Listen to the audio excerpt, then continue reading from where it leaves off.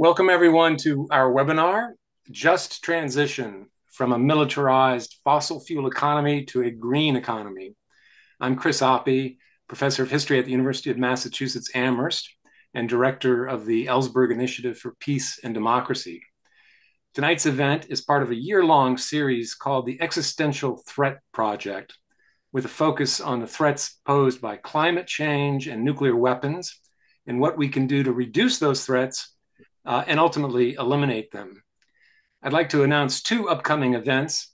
This Thursday, October 10th, also at 7 p.m. Eastern Time, we're having uh, an online webinar on the catastrophic humanitarian consequences of nuclear weapons, featuring an extraordinary panel of activists and activist scholars who will talk not only about the existential crisis posed by the still strong possibility of nuclear war, but about uh, the damage nuclear weapon weapons testing and production have already done. Later in the fall, on December 2nd, we will host the third annual Ellsberg Lecture featuring the well known climate justice writer and activist Bill McKibben. For more information about these and other upcoming events, please go to our website, eipad, ipad.org, eipad.org. Our work is inspired by the life and legacy of Daniel Ellsberg. Ellsberg is primarily known for his opposition to the Vietnam War and his extraordinary act of moral courage when he turned over to the press and public a 7,000 page classified history of the Vietnam War that came to be known as the Pentagon Papers, which uh, those documents exposed more than two decades of lies by US leaders of both parties about the causes and conduct of that war what is not nearly as well known about Ellsberg is that he devoted much of the next 50 years of his life to activism devoted to the elimination of nuclear weapons, and in more recent decades to the pursuit of environmental justice. Ellsberg died last year, but I know he would have found tonight's webinar extremely important. I'm very much looking forward to this discussion of how we might transition away from an economy based so significantly on fossil fuels and massive military spending to one that lives up to the promise of a carbon neutral green economy. And to do so in a way that is just to people whose jobs and lives have been dependent on fossil fuels and work related to the military and weapons production. As you listen, uh, please post any questions uh, you may have into the Q&A, and in the uh, final half hour or so, we'll try to address some of them. So let me now introduce tonight's panelists. Robert Pollin will serve as both moderator and participant. Bob is Distinguished University Professor of Economics at the University of Massachusetts, where he is also the co director of the Political Economy Research Institute. He's also the founder and president of Pollin Energy and Retrofits, PEAR, a green energy company operating throughout the United States. He's written many books, so I'll just mention a few that are relevant to our discussion tonight. Green Growth in 2014, Greening the Global Economy the year, the year after that, and Climate Crisis and the Golden, I'm sorry, Climate Crisis and the Global Green New Deal, which was uh, co authored with uh, Noam Chomsky in 2020. He has worked as a consultant for the US Department of Energy, the International Labor Organization, the United Nations Industrial Development Organization, and numerous non governmental organizations in the US and around the world. We're also hoping to have Norman Rogers join us, though he's now testifying before a commission, and so remains uncertain when he'll uh, arrive. But he is the uh, second vice president of United Steelworkers, Local 675, an amalgamated union that represents workers in a variety of industries, including oil, chemicals, paper, and car wash. He uh, has also worked for more than 25 years at the Marathon Oil Refi- Refinery in Los Angeles County. As a union leader, Norman has been very active in health and safety issues, contract negotiations, and for more than a decade, he has worked with environmental groups to improve safety regulations at refineries and chemical plants. He is now deeply engaged in the struggle to ensure a just transition to a green economy for fossil fuel workers. Miriam Pemberton is a fellow at the Institute for Policy Studies in Washington, D.C., where she directs its Peace Economy Transitions Project. She was also the first director of the National Commission for Economic Conversion and Disarmament. She's been working for decades on the connections between climate change and militarism. Hmm. With Lawrence Korb, she headed the team that produced the annual Unified Security Budget for the United States. With William Hartung, she edited Lessons from Iraq Avoiding the Next War. She is also the author of Six Stops on the National Security Tour Rethinking Warfare Economics. She holds a PhD from the University of Michigan. So, with that, I'm happy to turn the proceedings over to Robert Pollin. Okay, thank you very much, Chris, and uh, thank you uh, to Chris and everyone at the Ellsberg Initiative for organizing this event.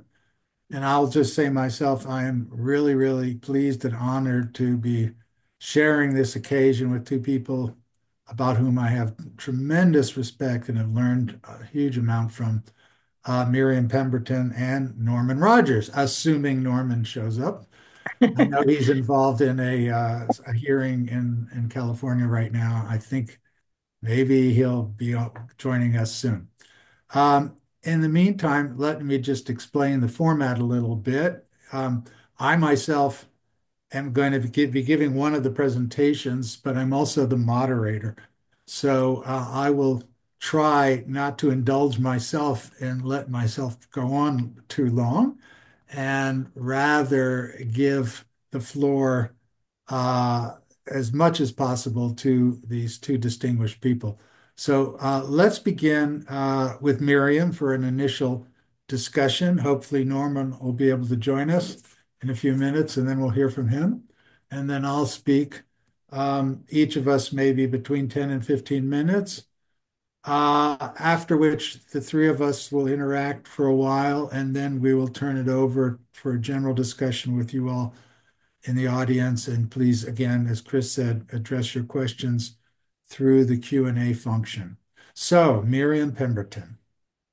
Thank you. Thank you, Bob. And thanks to the Ellsberg Initiative. It's really wonderful to be with you all and to um, be particularly with with um, Bob, who I have known for for many decades, and you know, admire his work more than more than most people on the planet. so um, I thought I would just start by uh, sort of ticking off uh, a few of the connections between climate change and militarism, and then say a few words about um, how military jobs versus climate jobs kind of stack up with each other then um, talk a, little bit about uh, unionization rates uh, between climate workers and military workers.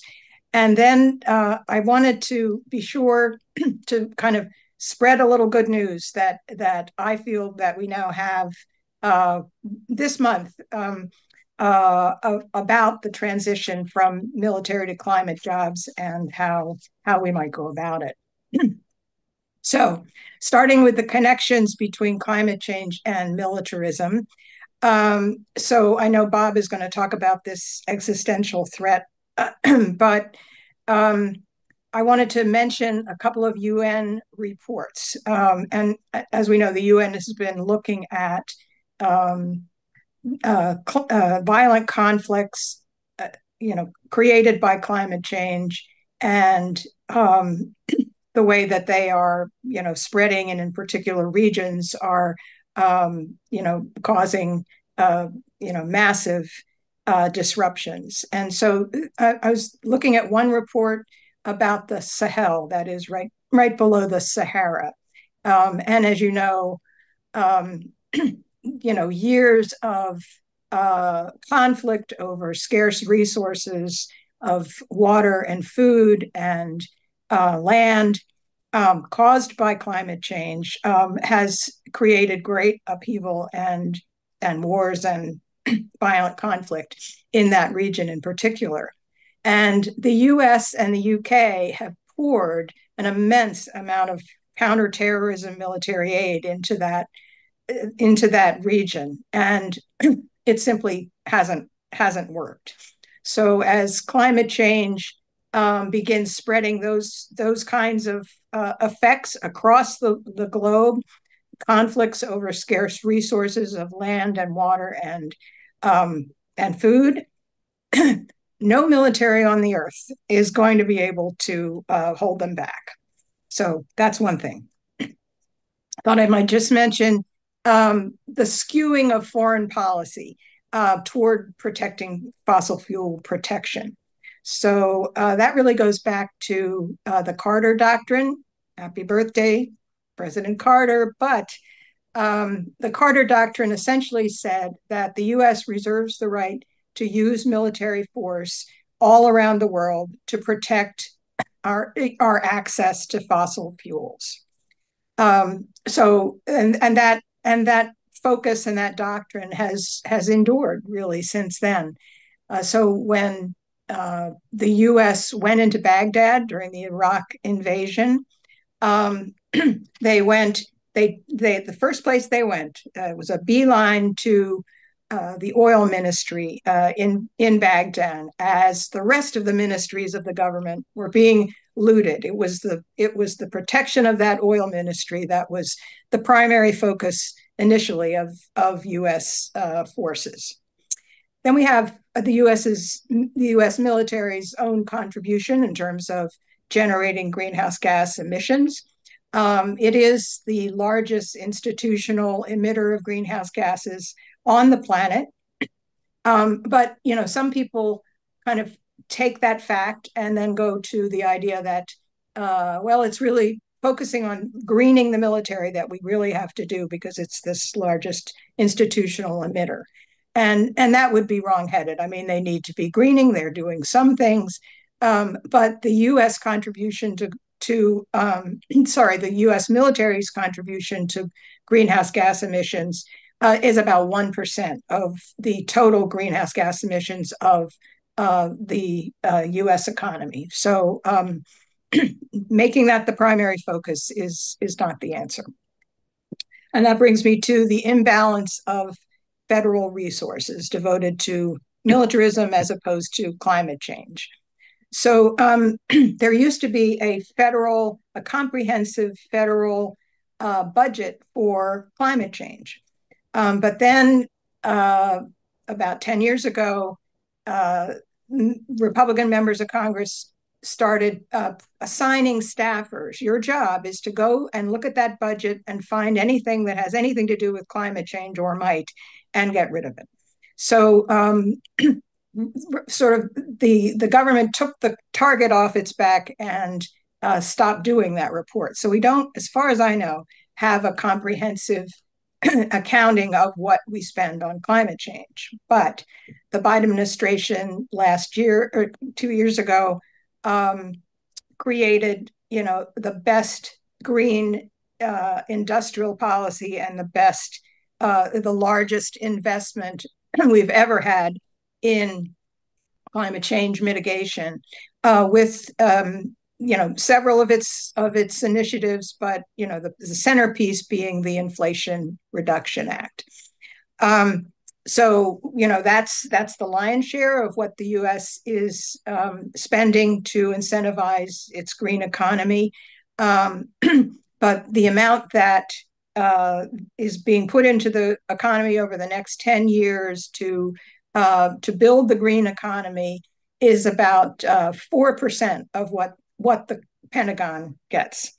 Um, so in terms of you know we have these these security threats. We have tools. We have the military and we have uh, investment in you know preventing what the military itself says short of a nuclear exchange uh, climate change is the greatest threat to to us and global security. Um, so uh, you know when we spend uh, 4% of the amount that we spend on military uh, technology on uh, dealing with this greatest threat to U.S. security, um, the imbalance is is pretty clear. so, want to say a word about um, military jobs as opposed to climate jobs. Uh, Bob knows more about climate jobs than than anyone, so I won't I won't dwell on that. Um, but I will say a word about uh, the military side of things. So, uh, the prime contractors uh, for um, for the military um, advertise their um, use to to all of us uh, in terms of job creation, um, almost more than they do uh, with you know advertising the the military tools that um, they provide for you know to to protect us. Um, but uh, there's really less there than meets the eye. So um, back in the post-Cold War period, we had uh, military budget come down by a third, and the procurement budget funding private contracting coming down by two thirds. So, um, in order to turn that situation around, as as they did, uh, military and you know jack up the military budget again, military contractors um, started spreading their contracts. Well, they'd already been doing it, but they really you know, they doubled down on this strategy of spreading contracts in as many congressional districts as they possibly could. So um, the F-35 fighter jet, which is uh, the the most expensive weapon system, it doesn't it you know it has been in in development for about two decades and it's still they're they're look they're finding new defects and paying the contractors to um, to fix those uh, fix those defects. Uh, you know, for for decades now. Um, uh, Lockheed Martin is the prime contractor, and uh, it advertises on its website that the F thirty five uh, is fighter jet is made in somewhere between 45 and 48 states. Now, this is obviously not a recipe for industrial efficiency, but it is certainly a recipe for political protection, which is which is what they've done. uh, however, if you if you look closely uh, in some of those states, um, uh, you know there are ten jobs here and and and twenty jobs there. Um, uh, it is really uh, less than than meets the eye. But if you look at what the um, main industrial uh, association representing those contractors um, says about uh, the numbers of military jobs, a couple of decades ago, they were talking about 3 million jobs in, in private military contracting. Now, they, they, um, the, the figure they use is slightly more than 1 million jobs. Um, so uh, why has why has that number come down? I mean, it's surging a bit because we are, of course, surging our military spending at the moment. But but um, but as a general matter, the trajectory is is downward. That has to do with outsourcing and automation mainly.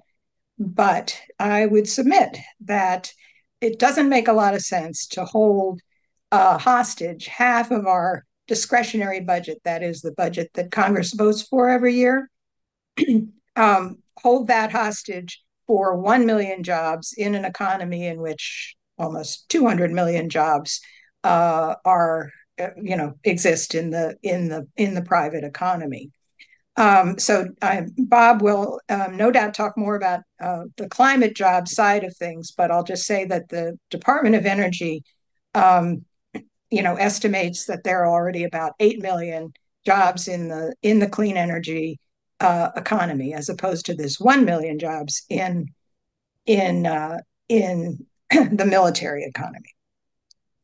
Um, just a word on uh, military versus climate uh, unionization rates.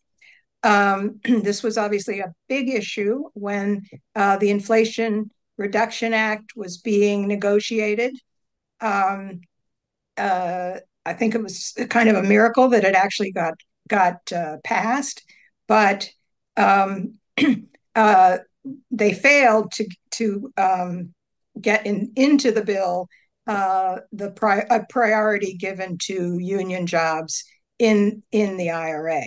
Um, they did get uh, the idea that prior priority should be given to um, companies that are uh, get that are paying the prevailing wage and that are using um, that are using apprenticeships, um, but uh, they didn't they didn't get this uh, uh the unionization um, uh, included in in the IRA originally. However, there's been a lot of organizing going on.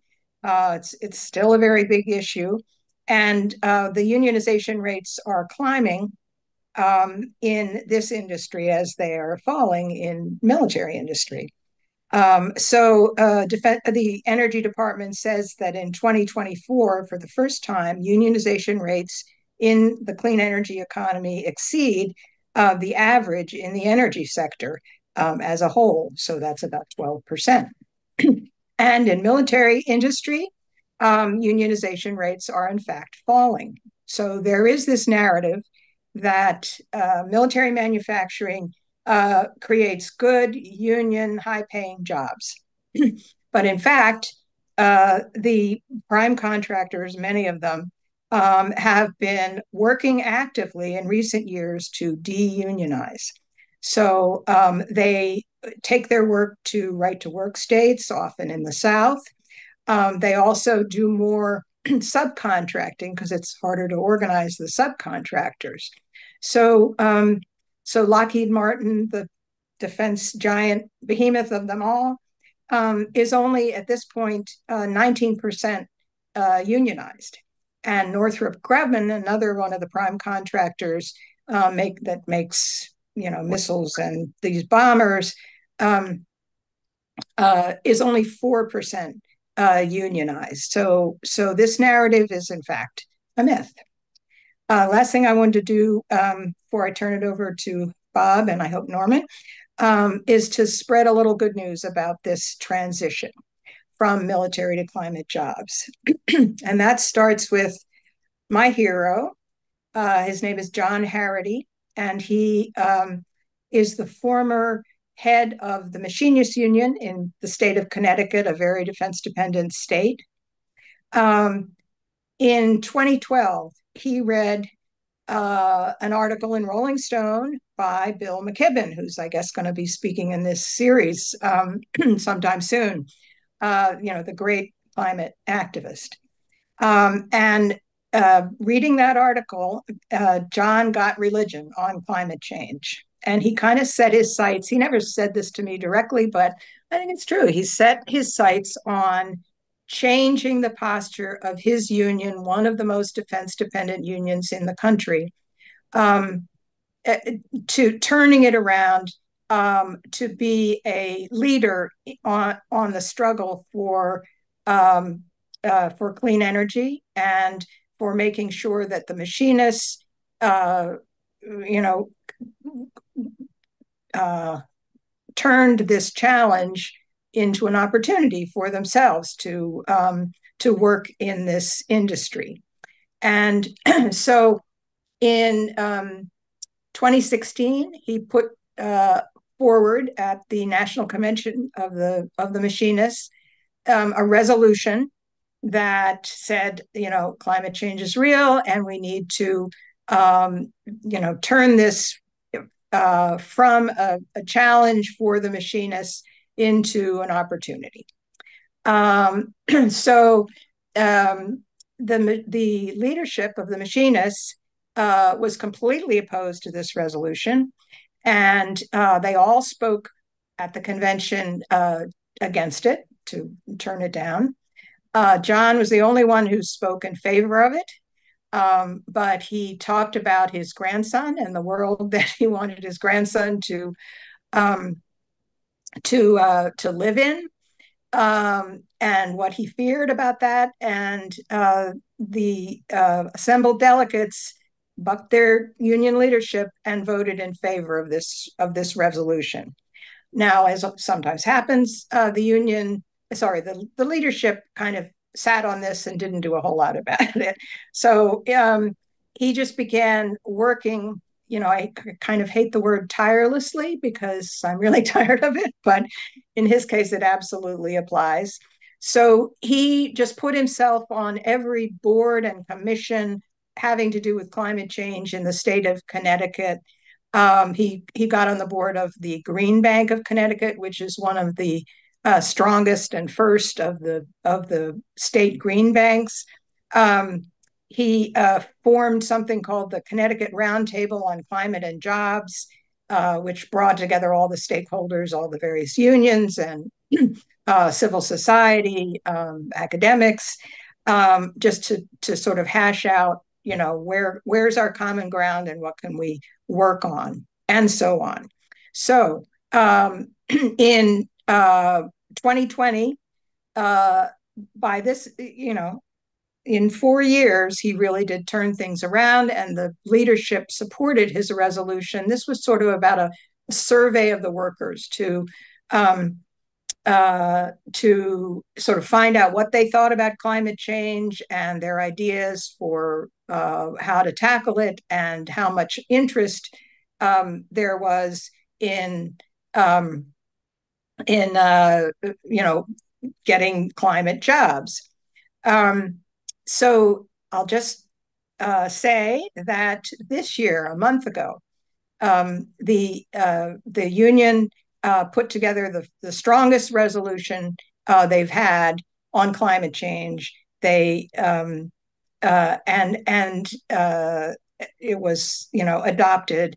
And the the thing I really wanted to get to was that um, uh, John, at, with the machinists and the machinists union in general, teamed up with the Cornell uh, Climate Institute, and they came out with this study, which I think is really important. Uh, Could you wrap up, Miriam, please? I will. I will. Yes. Um, the study is called Reclaiming Our Future, a Climate Jobs Agenda for the uh, International Machinists. And uh, the agenda has just all sorts of ideas for growing the IAM membership in clean energy industries, um, ensuring climate jobs are high quality union careers, and strengthening the, the IAM at the bargain ta- bargaining table and on the shop floor. So I just feel like uh, this report, again, Reclaiming Our Future, a climate jobs agenda for the IAM, um, is uh, a wealth of ideas for our movement. Thanks. Thank you so much. That's great. So I've been told that Norm is here. Are there he is. Where are you, Norman? Um, there he is. Okay, just in time. Perfect. So it's really my great pleasure to introduce Norman Rogers, and it is really an appropriate follow-up because of what Miriam was just talking about in terms of uh, John Harrity's contributions as a leader of the Machinists Union, and she characterized John as one of her heroes. And I think it's fair to say that Norm Rogers is one of my heroes. Uh, as you already heard at the introduction, Norm himself has been working uh, in the oil refinery uh, for 25 years and has also been a is a union leader among the oil refinery workers, and in doing all of that, has been a leader in advancing a green transition that incorporates uh, just transition for uh, workers in the in the industry, uh, and in that uh, work, Norm has also been a leader in creating the California Labor for Climate Jobs uh, organization, and I hope he'll say something about that. So, Norm Rogers, welcome. Thank you very much. Um, that's quite a lead in. Um, I would have to say that, a lot of what I've been involved with, had the opportunity to be involved with, there were folks before me that um, did a lot of the groundbreaking work. So it's basically just trying not to mess anything up that they got started. I'm going to have to ask for assistance if Brennan can run my slide deck. I apologize for being tardy. I was in a Senate hearing and um, it was been quite the scramble to get to where we are right now. Thank you, Norman, for getting back to us. I know that you were involved in an important hearing and it's great that you made it. Yes, and that's all worked out. So, um, first and foremost, my biggest concern is about workers. Is there are workers at the refineries, but just workers in general. Um, I come from I'm second vice president of United Steelworkers 675, located in Carson, California. And we have close to 4,000 members, about 2,500 of which are in the fossil fuel side of things. Um, production or getting pumping it out of the ground, logistics, transporting it, and refining it. Um, we also have mattress mattress manufacturers, folks that make light poles, cardboard boxes. We have a wide range of different industries that we represent. So this slide, I'm sure everyone's familiar with the Terracotta Army, um, an army that was built to protect, um, excuse me, to protect the first emperor of China. Um, next slide, please. They figure there's about overall 8,000 life-size clay figures, warriors, uh, horses, officers. Um, the slide or the picture on the left shows some of how they were built, and they're on the right at the bottom shows what they like look like in situ. It was a really big event, took a lot of workers, and next slide, we'll point out that once those um, those horses, the all the models were built, that the workers met with the non. Oh, okay. Mm, the workers, I'm sorry, I was working on a different version. Uh, my apologies. Oh, so that um, the workers were largely put to death after uh, they finished because the tomb was to be secret where the emperor was held. And so the folks, once they finished, they were uh, buried, they were entombed um, alive, is what the current thinking is. Uh, next slide, please. So this is a resting place of a different sort, and we'll come back to this picture and give it some further explanation. Uh, next slide. This is the Hawk Nest, Hawk's Nest Tunnel that was built in West Virginia starting in 1930. Um, this was a big event. The idea was to drill or dig a tunnel, I should say, that went from the New River and go downstream to power a hydroelectric plant for a Union Carbide or a hydroelectric plant to feed energy to the hydrogen or the Union Carbide plant. Excuse me. Next slide, please. It's a picture of the workers and what the tunnel looked like. Uh, next slide. So here's another description. This is what the tunnel looked look like before they filled it with water. Um, again, the project was started in 1930. One of the big issues, which actually has led to this being called the Hawk's Nest disaster, is because um, the folks that were working there weren't given proper respiratory protection. And as a result, um, they a lot of folks died. I think over 700 folks died from silicosis. Next slide. So this slide and the next one, if you would please. It points to, uh, okay, next next slide also. It points to how well uh, the folks are being remembered now after the fact. But as I said, um, about six, 764 workers died from silicosis. Um, it, turned out it was so acute, it ended up being quite a quick and fatal disease. Some folks that died in the camp were sent by rail back home. Uh, others that were sick and hadn't died, they were sent away. The ones, others that died in the camp because they couldn't be buried in white cemeteries because most of the workers were African American. Um, they were taken over to a farm and pretty much unceremoniously buried there, which would have been their final resting place, except later in 1972, uh, US Route 19 was being widened. And with that, those graves were dug up so that the uh, highway could be widened. And by that time, the bodies had de- deposed, decomposed so much that they were put in child size coffin, which gets us to the next slide. And there's the memorial as it stands today. So next slide, please. This will get us to a tomb of a different type. This is Detroit, Michigan. excuse me, after uh, the auto industry contracted. Those are all the same four houses in those pictures. Next slide, please. This is Youngstown, Ohio, after coal mines, coal industry contracted. And the next slide.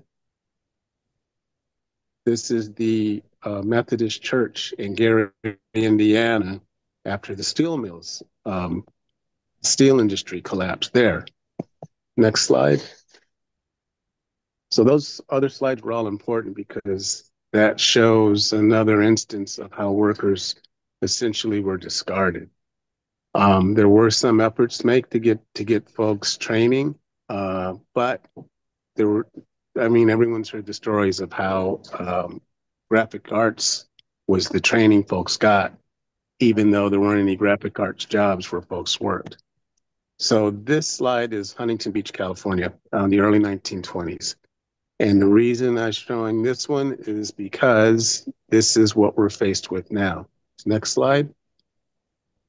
These next few slides are all um, from California, the California oil industry. This is from 1924 in Signal Hill. This is 1933, also in, I'm sorry, same picture. Uh, next one, please. That's 1933, again, Signal Hill. Uh, next slide. This is from the 40s. Um, this scene pretty much exists today, except that the um, instead of there being oil derricks there, there's containers from the uh, from the harbor. Okay, next slide, please. So this is the Hancock Oil Refinery. This was a, a fire that happened in 1958. This next slide is uh, also from that same incident. This is from the ground level. This is what it looked like from the air. And next slide. This, this is going to be from Standard Oil in El Segundo in 1967. I don't know if folks, um, what your Spanish skills are like, but El Segundo means the second in Spanish. And the city got the name the second because Standard Oil, excuse me, when they opened their first refinery in um, Richmond, California, they decided they would go down south and open their second refinery. And that's where the name El Segundo came from. The whole city is named after a Standard Oil refinery. So we're going to skip a couple of decades now and go to the next slide. This is 2012 in Richmond, California, which is where it's the Chevron refinery now, but it started out as a Standard Oil refinery. That upper right hand picture is a vapor cloud release. And then the following pictures show it lighting off. This is the view from across the bay in San Francisco. Next slide is what it looked like from ground level. And the next slide, please. So this is ExxonMobil in Torrance, California in 2015. The next slide is Marathon Refinery in 2020. This is actually the refinery I work at. And the next slide, this happened in uh, November of last year. This is the Marathon Martinez Refinery in Northern California. Uh, they made the switch over to renewable diesel and we're starting that up when this fire took place. And the next slide. It ended with this gentleman, um, Jerome Serrano, who was um, seriously burned in that. This this picture uh, and this story comes from uh, a no November November 29th article about 10 days after he was originally injured. And um, third degree burns over 80% of his body. He wasn't mm-hmm. expected to survive. I'm so, so happy to say that he's out. He's back down in Texas now. And truly, the recovery he's made is a miracle. Next slide, please. So, um, couple of things that come to mind out of all that. What we'd seen happen with Detroit and the auto industry, what we'd seen happen with Youngstown, Ohio and coal, what we've seen happen in Gary and steel mills in the steel industry. We watched all those folks suffer, communities suffer, uh, municipalities be impacted from the loss of revenue, um, which brings me to talk about the Servicemen Readjustment Act, which was also known as the GI Bill, which did untold good for GIs coming back from World War II and later military conflicts as well. The next piece there is uh, an address that was given at Harvard University on June 5th of 1947 by General George C. Marshall. And he rolled out the Marshall Plan, which was designed to help lift Europe back up and get it on its feet after all the damage that had taken place during World War II. Next slide. So that's what we're asking. We've seen that it's been done, that um, we can help folks with the GI Bill. Theoretically, we could do what we did for Europe for our folks here um, that are facing job losses because refining jobs, the refining industry is going to downsize. Um, it's being labeled as fossil fuels that we're trying to get off of fossil fuels, but we have to really be more inclusive when we do our thinking about fossil fuels because is someone that makes a muffler a fossil fuel worker? Is somebody that makes spark plugs a fossil fuel worker?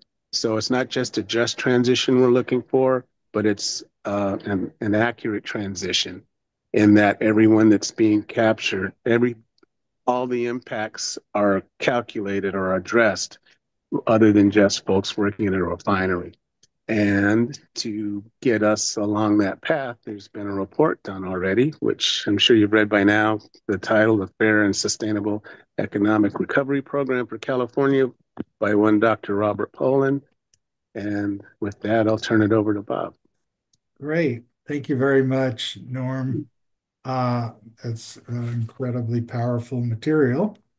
And, uh, you know, I'll just uh, kind of clean up around the edges a little bit because we've just had two fantastic presentations.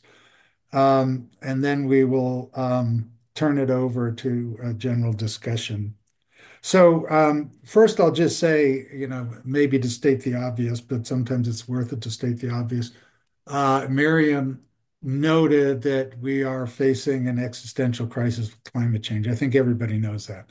Uh, but just to frame it a little bit, um, fundamentally the most single most important cause of, of the climate crisis is burning oil, coal, and natural gas to produce energy.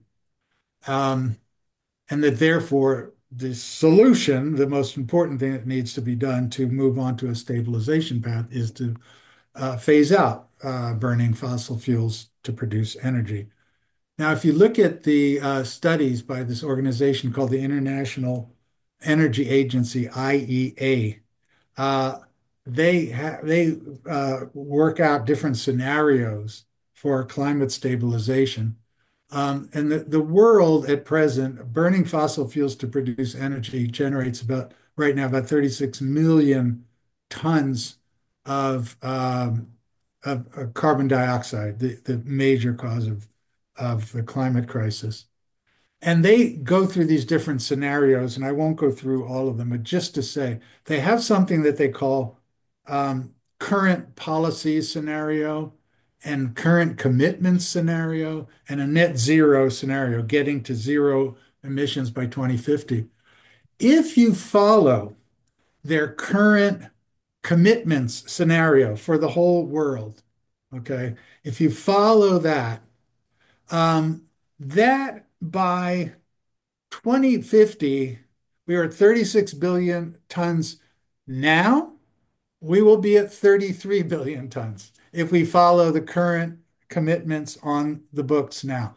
In other words, uh, even given, and that there has been important improvements, especially in Europe and, and the in, uh, in the U.S. with the Inflation Reduction Act, we aren't anywhere close to uh, moving onto a climate stabilization path. And, and that's really, in my view, uh, the gist of uh, the, the climate crisis, and that we have to move much more aggressively than we are toward a zero emissions global economy.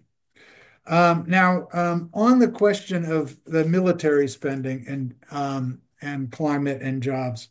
I'll just mention uh, the, the first person that asked me to compare the uh, job creation through military spending versus job creation through green transition is somebody by the name of Miriam Pemberton. So that was, uh, you know, the first time I, I built a model uh, to compare these things.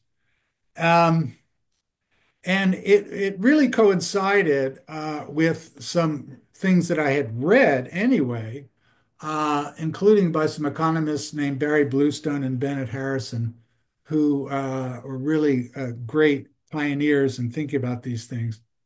And they said, you know, we know, uh, Miriam referenced this point that Congress makes uh, a, a, point of, of spreading out the military budget so that all communities get to think that, okay, whatever I may think about military spending, it's good for jobs. There's jobs. There's jobs in my community.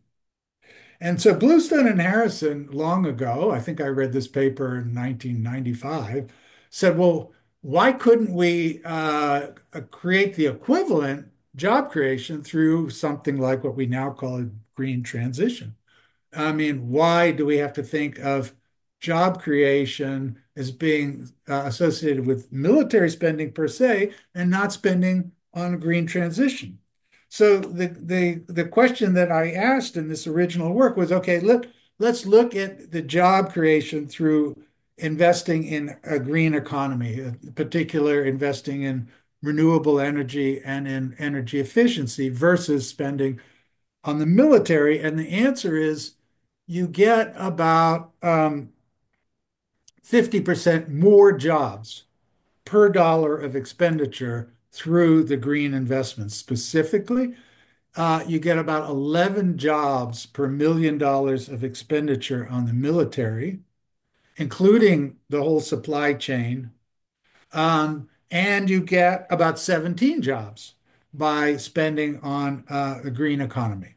So, just on the basis of this issue of jobs, we've got a lot of opportunity for expanding jobs, opportunities um, through uh, investing in the green economy. I'd also note what is this same ratio with respect to oil and gas? Well, with oil and gas, the average is about five jobs per million dollar of expenditure. That means the green economy roughly is creating, is capable of creating about three times more jobs for a given amount of spending than the uh, than the fossil fuel sector, and 50% more jobs than the military. So building the green economy is in principle good for jobs. Now we have to make sure it's good for jobs, and that's what Norm was talking about, and also Miriam was talking about with respect to opportunities uh, created uh, fighting for with the machinists. But the opportunity is there. There is no reason to for anyone to ever think that the transition to a green economy is going to be uh, harmful to job creation. Now, what about the military budget, um, as Miriam was talking about? So right now, the U.S. military budget for the last year, 2023, was $1 trillion, roughly speaking, 3.6% of GDP. That's a lot of money. it is less proportional to when, when in 2010, as a share of GDP, it has come down, and that is a mildly favorable development uh, along the lines that Miriam was talking about, but it's still gigantic. It's 13% of the entire federal budget, two and a half times more than spending on education. Now, what about on a global basis? Uh, global basis, total military spending is about 2.4 trillion, and that means the U.S. is spending 42% of all world global military spending. The next closest is China, so it's less than one third of the US. US military spending amounts to more than the other nine countries that are in the top 10 spending. So there is a lot of room to think about transitioning this uh, massive amount of military spending into spending on the green economy. And as Miriam pointed out, um, people within the military, and you should read Miriam's excellent book, um, uh, Six Stops to the National Secu- on the National Security Tour. I mean, she quotes Biden, pres- now President Biden, when when Biden was vice president, he said he went and at, uh, met with military leaders in the Pentagon and asked them, "What's the biggest threat to U.S. security?" They said climate change. Uh, so uh, transitioning funds from the military budget to green investment is fully consistent with advancing security and uh, and also it is fully consistent with expanding, not reducing job opportunities. Um, one exercise I did in this little book with Noam Chomsky and elsewhere is to say, well, let's take a modest amount of global military spending and move it into green investments. And I said, well, what about 6% of total glo- global military spending and we move it into green investments? That would be $150 billion. And that is 50% more than what all uh, high income countries have committed per year to low income countries to support their green transition. So that is a big pot of money sitting there to be uh, utilized to advance a green transition. And I'll also say that job creation for green transition in developing countries is also a huge opportunity.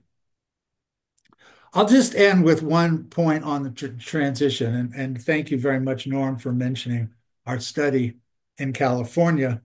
And I'll, I'll, I'll mention a, a, related study I did around the same time in Pennsylvania. And the reason I want to mention that one is because the issue has become the apparently the only uh, consideration on climate in the entire uh, current U.S. presidential uh, campaign, and that is the issue of fracking uh, fracking in particular in Pennsylvania, and that uh, Kamala Harris four years ago said she wanted to um, uh, abolish fracking, and now that she doesn't.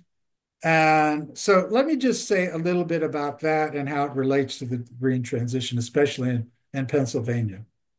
Uh, now, we all know that environmentally, aside from the climate impacts of burning the natural gas that is extracted from fracking, uh, fracking has massive negative environmental impacts, in particular with respect to water uh, contamination and air pollution. And that's why two uh, states, New York and Maryland, have, uh, in fact, uh, banned fracking, which is what ha uh, Harris was saying she was for four years ago for the entire country.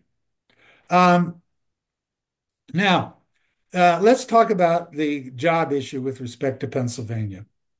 So, uh, the entire fracking sector in Pennsylvania, in a generous estimate, in, uh, it, uh, amounts to about 18,000 jobs.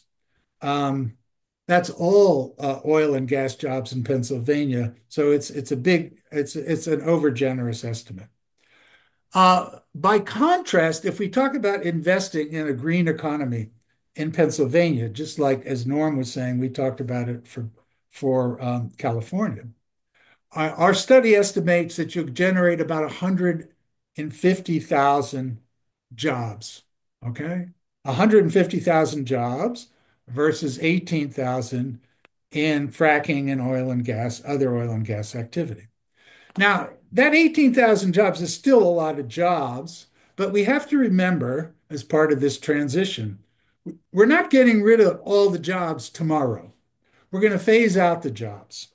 And as we phase out the fracking jobs, um, if we look at it demographically, people are also going to retire.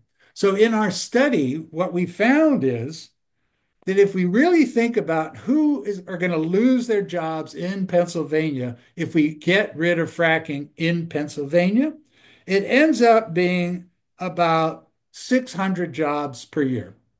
That is, after we take account of voluntary retirements and we phase it out over time, we're looking at a 600 job displacements per year, um, as opposed to the 150,000 jobs that we can create through investing in the green economy. So building the green economy in Pennsylvania, in California, throughout the country is good for job creation. Now, the last thing I'll mention, though, which gets to what Norm was talking about as well as Miriam, are these high quality jobs. And by high quality, we can talk of uh, many dimensions, but let's start with wages. The fact of the matter is, the jobs in the fossil fuel sector are better paying. Right now, they are better paying. Miriam told us some really interesting information about the rise of unionization, and that's critically important. People like Norm are making it happen.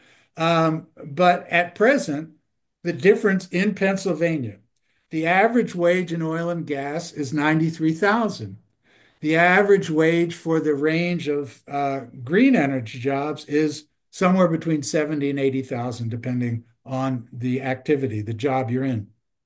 So that really frames, I think, the critical importance of, as what Miriam talked about and what Norm talked about, uh, building a unionization, strengthening worker power, creating conditions under which, as we expand the green economy and creating opportunities to make sure these are good jobs. It won't happen on its own.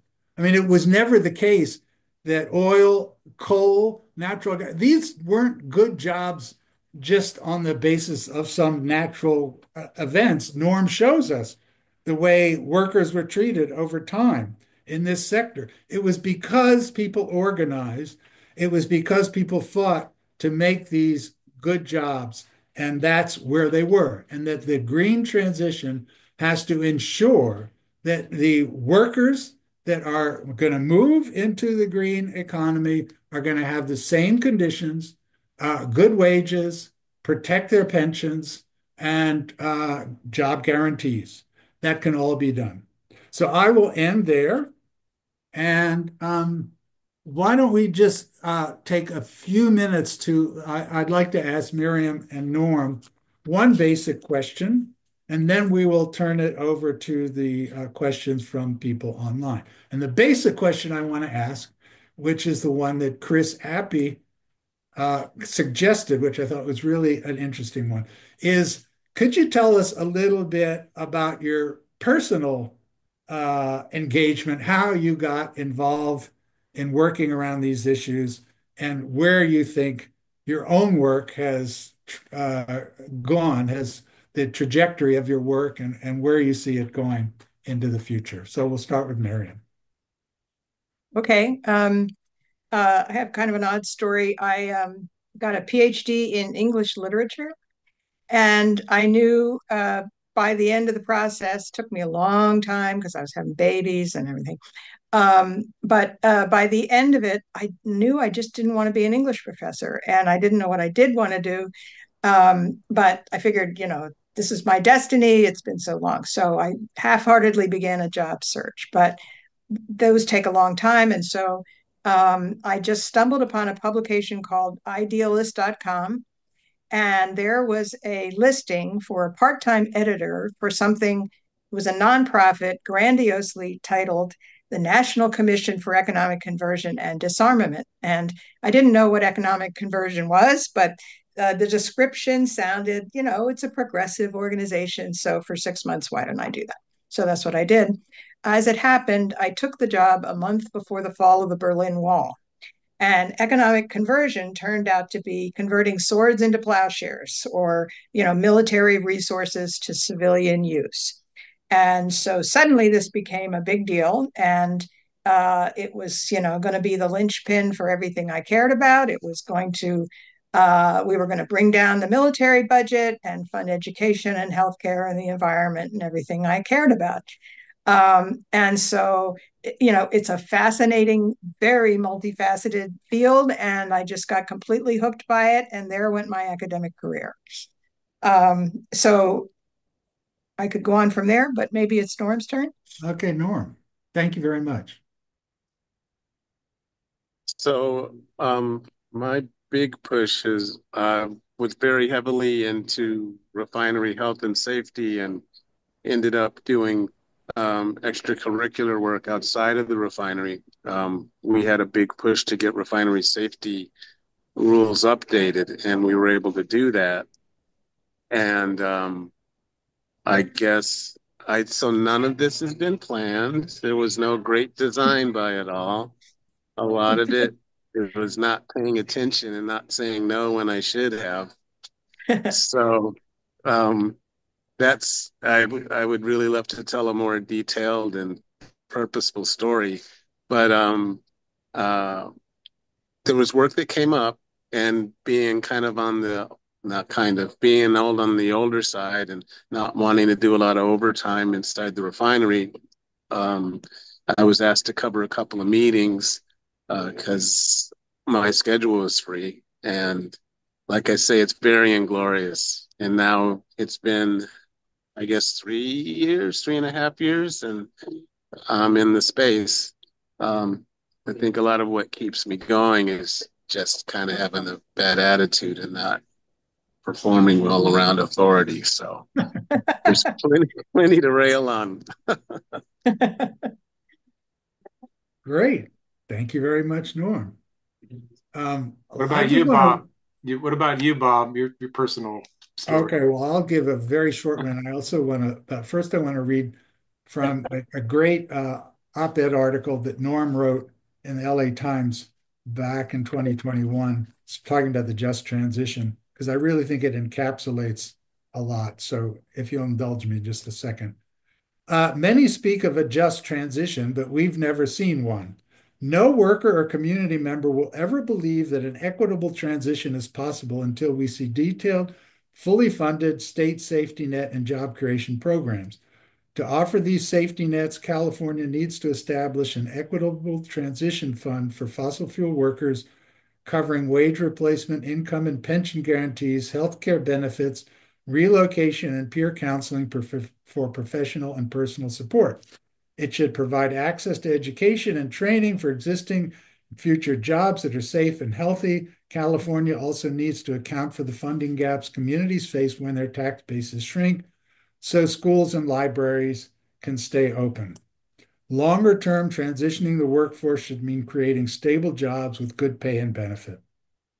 Uh, I think Norm, you know, really provides us with a really brilliant summary of a lot of stuff that I can write in 200 pages, but Norm did in one.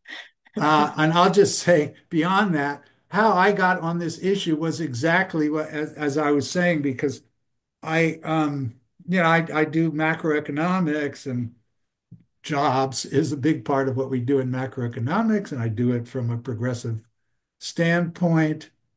Um, and uh, a lot of what I, you know, was hearing, just general chatter, was, okay, if you're interested in, you know, uh, climate issues, that's great. That's really nice. That's good. But it's it's a disaster in terms of people's living standards and jobs. That's and indeed the uh, I remember a New York Times, a New York Times poll said, okay, we can think about climate stabilization. They didn't use that term, or we can think about you know the environment and climate, or we can think about jobs and income. And here's the poll choose your priority. Which one? Now, naturally, about 70% said jobs and income.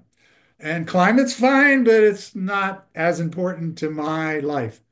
Now, um, you know, I saw that and, and similar ones like that. They ran several of those. And and then, you know, I it didn't I didn't really crystallize in my thinking on it until I read this article by Bluestone and Harrison, and I wish I could remember the name of it. And they just pointed out, well, investing in building a green economy is investing. Investing means job creation. And so the question is, uh, how many jobs? So that's really when I got started on this. And more or less around that time when I got started, uh, then I got this contact from this person named Miriam Pemberton and asked me to actually do a study, which I was already thinking I wanted to do. So it was uh, a, a, really good convergence. And so that's, I've been at it ever since. So I think we have time. Let's uh, give turn it over. Uh, Chris, uh, you have questions? Yeah, um, only a few questions have come in, so I encourage people that are listening to um, add your questions to the Q and A. Uh, I would say you all did a fabulous job debunking this widespread and powerfully supported, but uh, uh, claim that our well-being depends on uh, sustaining these uh, insane amount of you know military spending and uh, commitment to fossil fuels.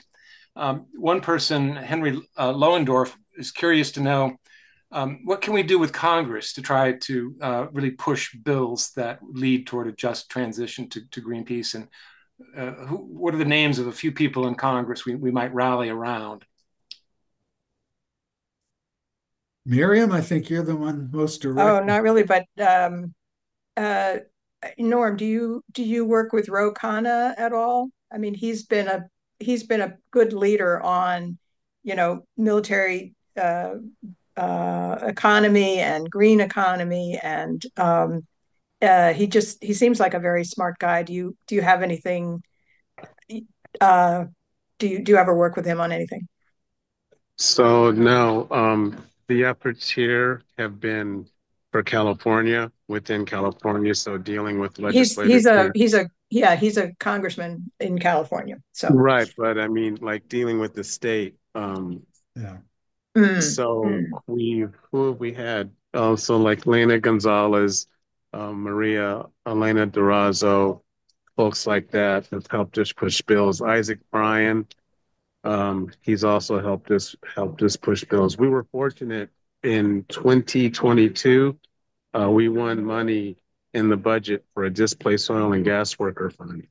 Originally, it was forty million dollars. It got knocked down to thirty because there was um, we were having budget issues in the state, and from that thirty million, um, three I think there were three grantees. Um, so um, there was positive support from the legislature on that. Um, but yeah, I don't, don't know if that answered your question or not. And I just I just add that um, what happens in the next month is is going to change everything, and and uh, we don't know what we're going to be dealing with, but um, you know, uh, I well, can I say something partisan? Maybe not, but but um, clearly the Congress. Uh, well, it it, it depends. Uh, you know who has the House for for one thing. Um, uh, you know, in this uh, Republican um, controlled House, uh, nothing is going to get done uh, on on these issues. Um, so you know, we just have to sort of see what happens and regroup and um, you know, kind of figure out uh, what's possible. You know, after November, I think. So I'll just say, uh, um, Go ahead, Bob.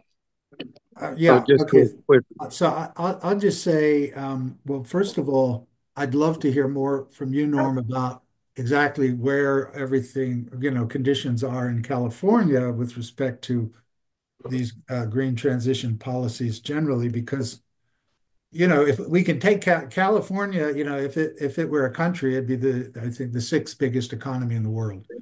And it's also one of the most open to thinking about uh, green transition policies. So there's lessons to be learned from California. So yeah, and I, you know, the the study that Norm mentioned was nice enough to mention that we did for California. It was in, it was endorsed by 22 unions, um, and uh, so you you do have some momentum as a result of the organizing done by unions. But I want, I'll mention my experience talking about much, much less hospitable environment in which we did one of our studies, and that was the state of West Virginia. So uh, we did the West Virginia study around the same time as Pennsylvania and and California. And um, when our study came out and goes through these issues around transition, uh, I was really surprised that uh, number one, um, well, I wasn't surprised that the AFL-CIO in general uh, was supportive, but the mine workers union in in um, in in West Virginia was you know willing to was open to thinking about it as long as following what Norm said, we had a, a robust transition program for workers that really respects where they are, where you know what they fought for, what they've achieved, um, and how to move them into other areas in the communities. Um, and then we did, we were invited to give a presentation to um, um, Senator Manchin's office, you know, the, the, the, the evil senator who's himself tied to the coal industry and was holding up whatever work that the Biden administration was trying to do that did eventually pass as the Inflation Reduction Act because they got the vote from Manchin. And I'm not saying it was our study that swayed Manchin, but in talking in, in particular to his staff and the union people uh, talking to Manchin, it, it was clear, um, you know, whether they were taking our study seriously or not, it was clear that the, the, the notion that uh, investing in a green economy was going to be good for jobs, good for employment opportunities if it was done in the right way. Um, it did it, it did sink in uh, with at least the Manchin's staff, and um, so if if you can even sway the Manchins of the world a little bit by this kind of approach, I think you know we have a you know it's it's easy to think about like the congressman we have here, Jim McGovern. Of course, he's going to be for it. Uh, most of the ones in Massachusetts, no problem. You know, our our, our senator, uh, our you know endorsed the Green New Deal, uh, and so forth. But you know, let's think about the hard ones, or at least the ones that are on the fence, and think about ways to persuade them. And I do think that making the point that what people like Norm um, and the machinists that Miriam was talking about are arguing for is probably the single strongest lever to move, let's say, centrist or right leaning Democrats on these issues. And those are the people I think we really need to bring along. Yeah, Miriam. Um, so just uh, speaking of West Virginia, I'm not remembering the details, but um, looking at all the uh, Inflation Reduction Act grants that have been given so far and tax credit plans, I know there is one in West Virginia which was exemplary in the way that it actually uh, prioritized uh, hiring fossil fuel workers or you know coal whatever is there um, and putting them into a training program and getting them uh, directly into you know a job in something to do with the with green energy so that it, there wasn't this sort of you know in the post cold war period there was kind of um, uh, we need retraining funds but but never this direct com- uh, connection taking people from one kind of job and seamlessly uh, training them up to do this other kind of job. And so there are examples, and one of them was in West Virginia. I just don't remember much more about it. I think it's actually a Toyota plant. Okay. Yeah. Uh, elect, I think it's components for electric batteries, mm. you know. Anyway, mm. yeah, Norm, can you tell us something about where where things are in California on this stuff? Well, um, so more broadly, so last week last week. I get maybe it was the week before last. Whenever Climate Week was in New York, um, I went, and um, there were numerous sessions all across Manhattan, in the Bronx, in Brooklyn, everywhere. And so I would ask folks how often um, had they seen the term phase out used when they were looking through the schedule about classes they wanted to attend. And they said, "Oh, I can't even count how many times." And so then my next question would be, how often did you see the term phase in? And, you know, they had to hit control alt delete because their brains locked up because they never saw phase in. And that's the problem. So we have policies in place where we've inserted ourselves between someone and their paycheck. And if we're going to do that, then um, we need to have at least the next three steps lined out so we can explain to folks it's safe to take this next step. And that's not where we are. And so, even within California, with the successes we've had, um, we still don't have that because the end of all of this is going to be a job. Somebody that's employed now isn't going to be and wants to be we don't have that pool of jobs and so that makes it difficult. So early retirement getting folks out of that pool of folks that need help um, if somebody's close to um, retirement hopefully we could find something to tide them over. Somebody does find work um, and it's not paying quite as well as far as wages and benefits go that there's some kind of gap closure there. There's some funds to close that gap. Um, this is all to get back to the displaced oil and gas worker fund because those things weren't a part of that plan. Um, we asked for it.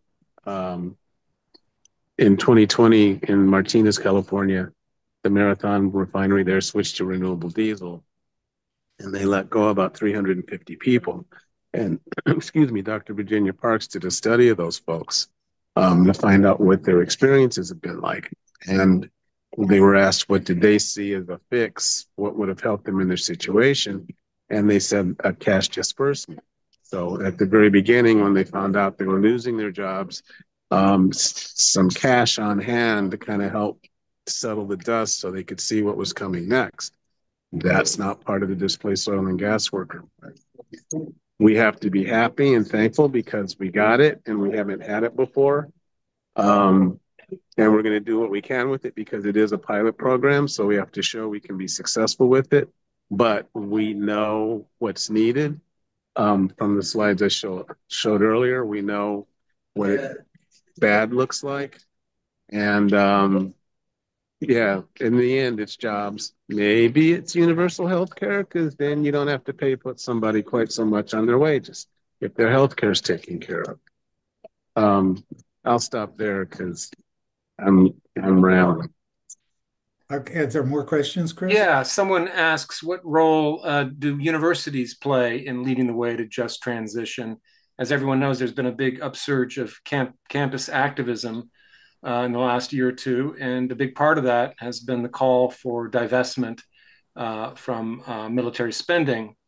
So, what what uh, what hope can we place in the university to move us in this direction?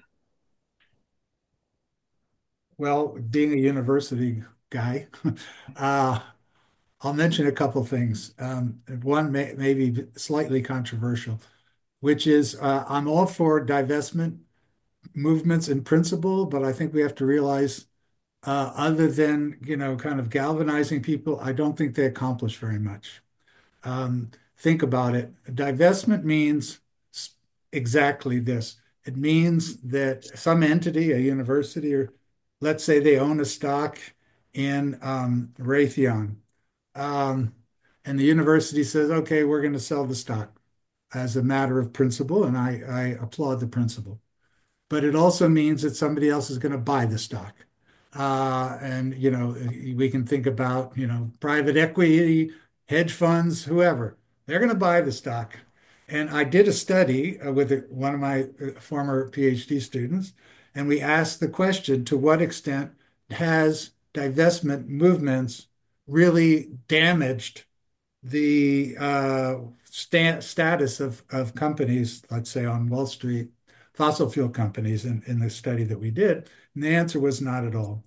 And so um, uh, I think it's important that we think about um, strategies that aren't, you know, again, I, I applaud people for their commitments. Um, but let's think about strategies that actually will have some more leverage. And, and that therefore, with respect to universities, with respect to uh, climate issues, I would argue that we focus much more on getting the universities off of fossil fuels. Just say we're off. And you know, if you think about that, and if you think about demanding that, Um, then we are, you know, and then that idea spreads uh, throughout communities. Then we are actually uh, moving the dial in a significant way. And I should just mention at my own university, um, which, by the way, is has uh, been a pioneer both in the anti uh, and the divestment movement, um, and creating the Sunrise uh, movement, uh, which is now national. Uh, but the students moved beyond that and uh, demanded that we phase out fossil fuels. And uh, um, our previous chancellor ended up agreeing with the students and committing to being off of fossil fuels by 2035. Now, whether we're going to accomplish it requires more struggle. But um, anyway, that's my take on it. Uh, just a couple things. Um, kind of on the good news side, uh, it seems like, you know, it, the Gaza war and uh, uh, all of the protests um, have, you know, inspired, you know, students to uh, investigate, you know, what are the what is this university doing in terms of its contracts and, you know, what what uh, what is my research going to be contributing in terms of um, uh, you know military re- research? And there are some i think uh, stronger groups uh, of among graduate students uh, you know resisting uh, the the requirements for their research that they be involved in military research. On the other hand i read some place recently that um, that investment by the Pentagon in universities across the country is on the rise, and that now 14 universities um, receive more than a hundred, or this this past year have received more than a hundred million dollars in in military contracts. So um, so it's a struggle. That's all I can say. In this environment, it's with with this with um, the surges in military spending. This is it's a struggle. So uh, maybe we have time for one more question, um, Chris. Yeah, there are uh, two sort of related questions. Someone wants to know: Are there actually in DC full-time lobbyists working on climate change and a green economy? And related to that, someone wants to know: How do you counter narratives uh, in the media and by even prominent politicians who completely deny uh, climate change? What have been some of the more effective arguments or, or, or political steps to take to to make a broader portion of the public, uh, you know, ex- accept these basic realities. Hmm. Norm, do you want to respond first? So there's a couple of pieces. One, one is a dodge. Actually, um, our our the makeup of our rank and file. There's a lot of conservative members to that, and um, while discussions about climate would be best, in order for there to just not be flat out brawls, our discussions are about um, the demand going away. And that's quite easy to see that. And it's been happening over time. Gas mileage got better on it on cars, and now there's more electric cars. And as things stand right now, our peak here in California for gasoline was 2017, and it's been on the decline ever since. So that's one piece. Um, the other piece is truly, um, I'm going to say, talking to people. Ask somebody in Florida on the West Coast today, what's what's the last 30 years look like for you? Is the last 10 years different than the previous 20? Um, what fish have disappeared um, in fishing streams? what birds don't you see anymore? What's the size of the deer? I mean, think those are stories that can be told at a very grassroots level on what things look like, where there used to be water flowing and now there isn't. How far um, inland now do the storms come when there's a hurricane? Um, there's going to be things. How hot is it? And and two was it three 2022 maybe there was forest fires in Colorado in November. Uh, it was either November or December. It should have been cold and frosty? No, it was warm and dry, and there were forest fires. So, um, a collection of what's actually going on, you can show graphs and charts and things, but what's actually happening on the ground, shown as a collective, I think would carry some weight. Yeah, just piggybacking on that, I would just say uh, the best lobbying force is what people are feeling on their skin. You know, nobody can avoid seeing what's happening. They can be in denial about it, uh, but but you know, it's there and it has uh, you know in, in certainly in my lifetime or the last year uh, you know the signs are intensifying. They you don't need to read reports. You're it's right there on your on your skin. Now in washington you know there are a lot of um, lobbying uh, groups environmental groups. They do strong lobbying. Um, on the other hand on the military side of the equation um, lockheed martin you know this one contractor has more lobbyists than uh, members of Congress themselves. So there again, it's a struggle. well, I think we're uh, pretty much yeah. out of time. Uh, so I, will just thank uh, Miriam and Norm for uh, great presentations, participating, and all the important work you do. Keep it going. And I'll turn it over to Chris. Well, thank you all for a really great webinar, very stimulating, um, much appreciated. Uh, as I said at the beginning, we have another event just uh, on Thursday, same time, 7 p.m. Eastern Time, on the catastrophic humanitarian consequences of nuclear weapons. So please uh, register for that and uh, see you then. So thanks, everybody. Have a good night. Thanks so much.